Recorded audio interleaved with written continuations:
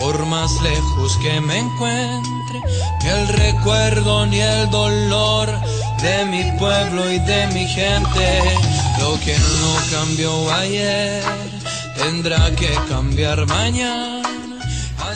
Buen mediodía amigos, ¿cómo están?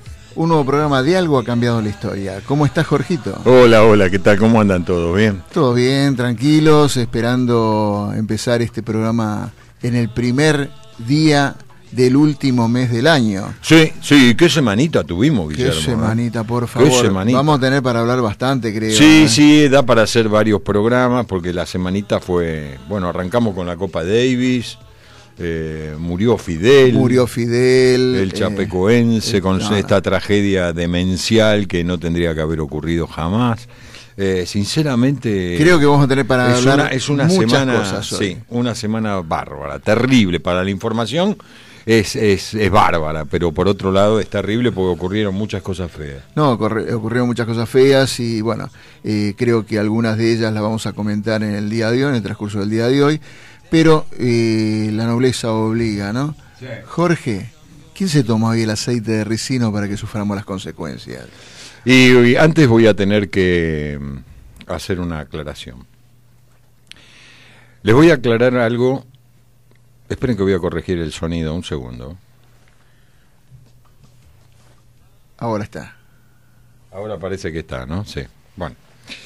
Eh, les quiero hacer una aclaración a todos. Todas las religiones del mundo me parecen maravillosas.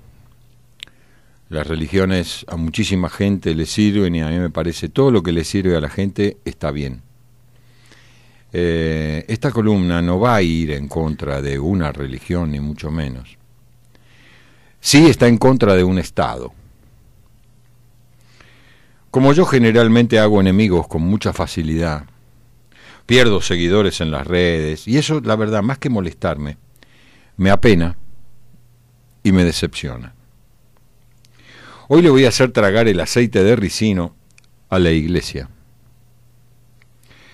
a su estructura, a su cabeza, a su cuerpo y a sus extremidades.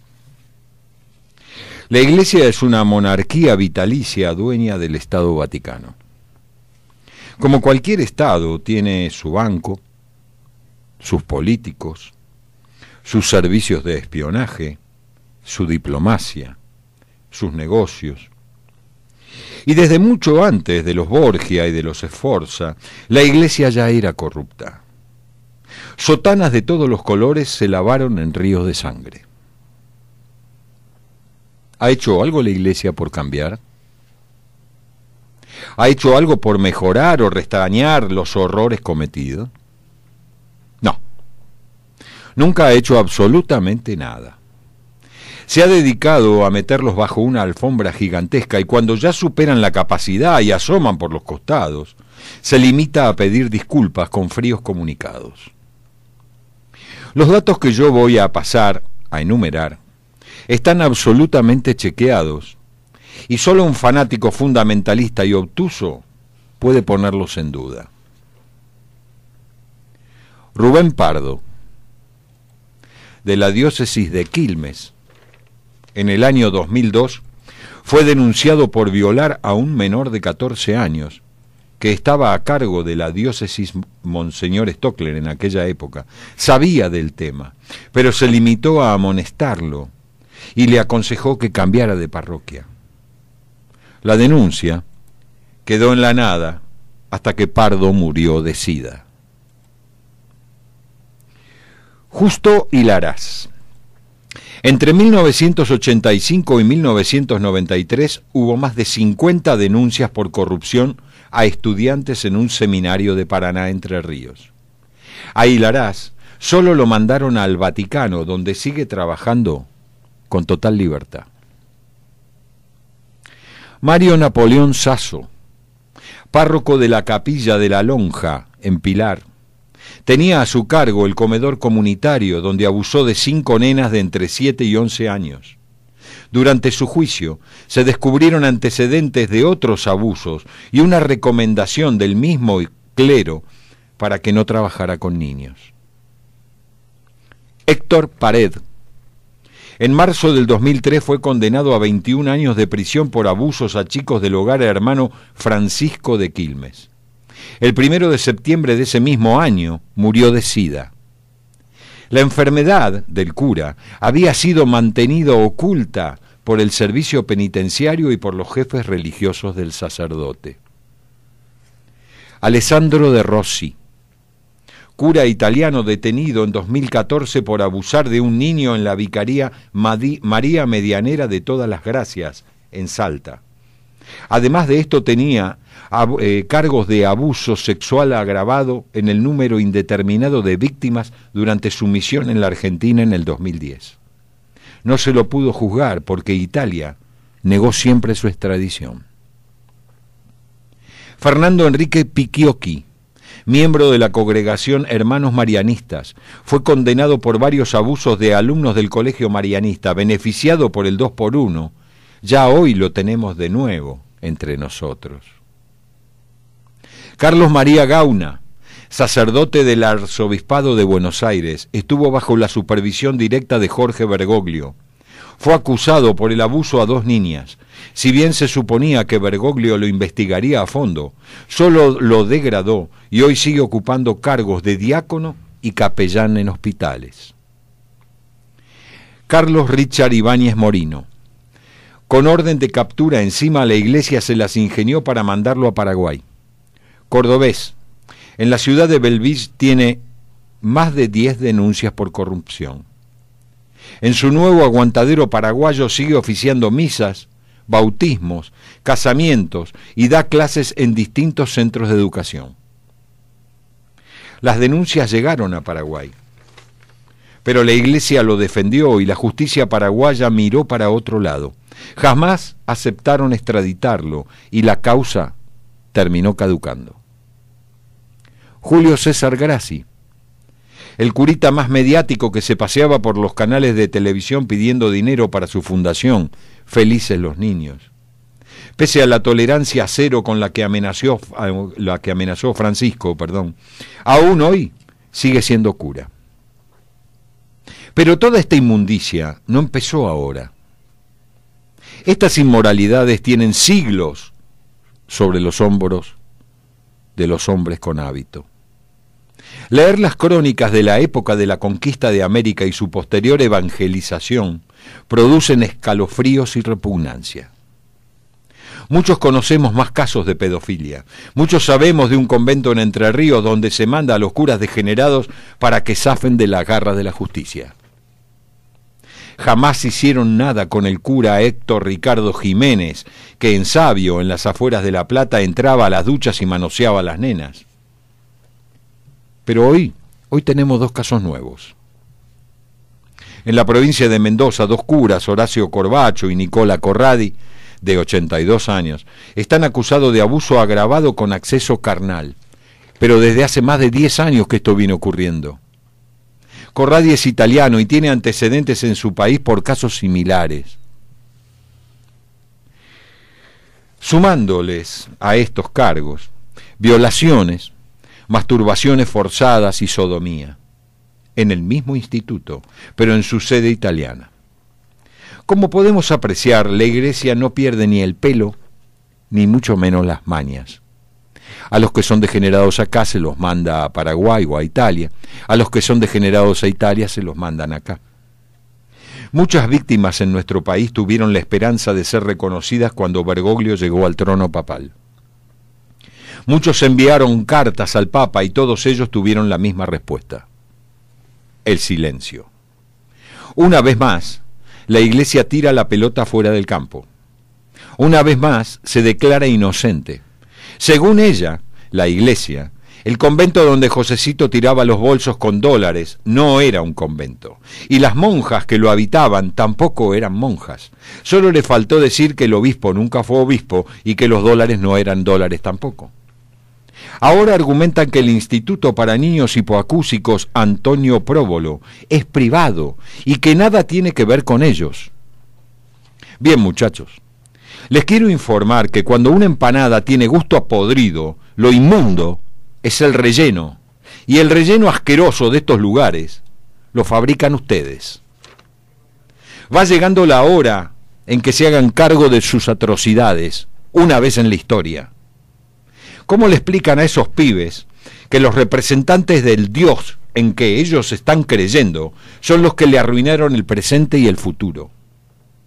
Desde su corona para abajo, les aconsejo que dejen de condenar al prójimo y dejen de horrorizarse por las barbaridades ajenas. Mírense al espejo y a su alrededor y pidan perdón. Pidan perdón hasta el día que se muera el último de ustedes. Santi, hijo, sácame de esta mierda y no te olvides de tirar la cadena.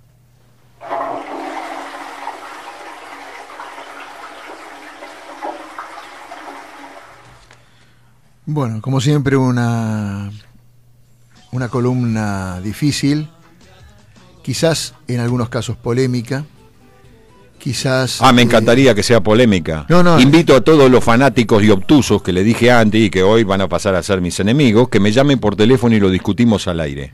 Polémica lo decimos con el aspecto de que es un tema tabú en muchos casos. No debe ser tabú. No tiene que ser tabú, estamos No, no, no tiene que ser y Lo hemos dicho ¿Sabe qué pasa? Que estoy harto de que pidan disculpas 400 años después, 500 años después. Muchachos, empecemos a pedir que el Papa de dentro de 500 años va a pedir disculpas por estos degenerados de ahora. Terminémosla. El otro día un psicólogo dio una explicación y me parece muy coherente. Estos tipos no se vuelven degenerados cuando entran a la iglesia y cuando entran al seminario. No, estos tipos saben que son degenerados de antes. No, totalmente. Entonces, ¿qué es lo que ocurre? ¿Qué es lo que hacen? Algunos que son medianamente lógicos y decentes, como están desesperados por el karma que tienen encima, que es su propia desviación, ¿qué es lo que hacen? Bueno, vengo a expulgar un poco, mis, a esculparme de alguna manera, voy a seguir el camino de la religión. Esos son los menos. Pero después están los otros que dicen, si yo soy degenerado para dar rienda suelta a mi enfermedad, porque evidentemente un pedófilo no es algo normal, entonces, ¿qué es lo que hago? Me meto en el seminario y me voy a poner a trabajar con chicos y ahí los tengo. Y otro me dice, bueno, pero ¿y entonces qué son? Como, como los, pero estos son, son peores que, los talibanes, que, que, los fundamentalistas, pero sí, lógico, lógico, porque un musulmán cuando es fanático sale a matar y está loco totalmente por lo que sale a hacer, pero mata, tiene muy claro que el que está matando es el que él cree que es su enemigo. No, estamos de acuerdo. Este caso no. En este caso están agarrando a sus propios fieles, a sus propias criaturas. Esto es, esto es de loco. No, hay animal en la tierra que haga esto. Aparte, Jorge, lo que quería redondear el tema eh, es el hecho de que sabemos todos que existe, sabemos todo que pasa, pero es un tema tabú y que no lo quiere hablar mucha gente. Y como dijimos la semana pasada, nosotros no nos callamos la boca. No, no. Al que le moleste, que le moleste. No, lo lamento, yo lo lamento en el alma, pero es mi manera de verlo. Las cosas hay que decirlas, hay que ser más realistas, hay que ver y hay que no ocultar más el sol con el dedo. No, no, no. Entonces, dejémonos de joder en algunos, algunos temas. Sé que como dijimos, o me lo venías charlando en el coche, puede ser que agarremos muchos enemigos o mucha gente que nos deje de escuchar. Pero desde su fanatismo, Guillermo. Justamente. Porque estas no son cosas que inventamos nosotros. Muy poco, me importa muy poco. Este programa se ha siempre caracterizado en decir lo que siente y lo que no se animan a decir los demás. Eh, creo que llega un momento de que uno ya es mayorcito y tiene que ponerse los pantalones largos y tiene que empezar a ver la realidad que nos rodea y que muchas veces nosotros por temor al que dirán o el temor a que me pueden juzgar de no se habla. Y bueno, gracias a Dios tenemos esta columna que se habla de todos los temas, tenemos esta radio que no nos permite o no nos amordaza y tenemos este programa que les guste o no les guste, algo ha cambiado en la historia, lo vamos a ir cambiando de alguna forma. Sí, sí, nosotros les tenemos... guste o no les guste. Claro, lo que pasa que eh, precisamente la iglesia es el ejemplo de todo lo contrario. Algo no ha cambiado en toda su puta historia. Es así. Sí. Lamentablemente. Los cambios llegan tarde, malos, carísimos. Y ojo, que estos casos que yo presenté hoy son casos absolutamente chequeados. Pero todos los que tenemos eh, unos cuantos años, sabemos de casos, porque acá en los años 60, 70 y 80, no podía trascender absolutamente nada. Pero hay una iglesia, eh, por ejemplo, en la avenida Dorrego, casi llegando a Corrientes, en el barrio de Colegiales, algunos lo llaman Chacarita o Villa Crespo, está ahí en los límites, pero es Colegiales. Bueno, donde hubo un caso hace muchos años. Y en otra iglesia de la calle Bahía Blanca, casi llegando a Gaona, enfrente a una plaza que hay ahí, eh, también hubo otro caso de un cura que aparte daba clases en el colegio. ¿Y todos qué es lo que se hacían? Por eso conozco la existencia de este convento en, Entre Ríos. Los mandaban a Entre Ríos y ahí vivían tranquilos y no había ningún tipo de problemas. Entonces, digamos que era un, estacionamiento para curas pedófilos. Eh, muchachos, eh, terminémosla. O sea, llega un momento que uno dice, basta. No, pero aparte como eh, uno creyente o católico o de la forma que uno entiende la religión, aparte de este tema que es, muy, es muy jodido, pero también tenés estupideces como por ejemplo los horarios, esta semana el 27 de, de noviembre fue el Día de la Medalla Milagrosa, ¿no? Yo eh, tengo un compromiso con mi madre. Eh, este año se cumplieron, el 23 de noviembre justamente se cumplieron 15 años de, su partida y era muy devota. Y me pidió, lo único que me pidió es que trate de los 27 ir a la medalla o dentro de la semana ir a la medalla en honor a ella o en honor a, su recuerdo y a su devoción. Eh, yo el 27 lamentablemente no pude, y si bien fue un fin de semana, fue el domingo, dije, no, voy el lunes, que te veo... ¿Vos sabés que cierra a mediodía? Dejémonos de joder, es la casa de Dios. Y cierran porque la excusa que te dan es que no, cerramos porque después entran ladrones. Pará, pará. Creo que entra mucha plata también a la iglesia como para que ellos traten de organizarse. Es la casa de Dios. Yo no tengo horario para ir a rezar o no tengo horario para ir a venerar o no tengo horario para sentirme bien en la casa de Dios. Tiene que, estamos de acuerdo, a la noche quizás por seguridad, por lo que vos quieras, pero en el día no puede estar cerrada una iglesia y más una iglesia como la Medalla Milagrosa, que es inmensa en la semana de su celebración. Es una vergüenza es una vergüenza. Y eso no lo digo sobre la medalla milagrosa sola, sino con un montón de templos que tienen horarios para poder ir a visitar. Y a mí me ha pasado años atrás, cuando hacíamos los guiados, acá en, en Olivos, en la plaza, íbamos al templo del Huerto de los Olivos y teníamos que previamente arreglar y ver los horarios, organizar los horarios de la visita porque estaba cerrada a la tarde es una vergüenza, realmente. Y como eso es una estupidez a raíz de lo que vos decís que es mucho más importante. No, no, pero escúchame, esto da, vos hablaste también de la parte económica, eso da también para otro programa, algún día cuando estén un poquito curados de lo que escucharon hoy, voy a hablar de la economía de la iglesia, voy a hablar de los curas eh, manejando plata en las cuevas, haciendo de prestamistas, prestándole a empresas. Eh, también vamos a hablar de, esa economía, de la economía negra vaticana y de cómo no solo la limosna es la que alimenta al Vaticano y cómo se han hecho de todo ese tipo de cosas. Por eso les aclaro, eh, mi mensaje es sigan creyendo en Dios, en todos los dioses que ustedes quieran, porque los dioses que ustedes inventaron son todos buenos. El problema son los representantes en la tierra y sobre todo el caso de la Iglesia Católica, que en el Vaticano es la única que tiene un Estado que se maneja como tal. Bueno, sepan, señores, que ese Estado, de su cabeza para abajo, es total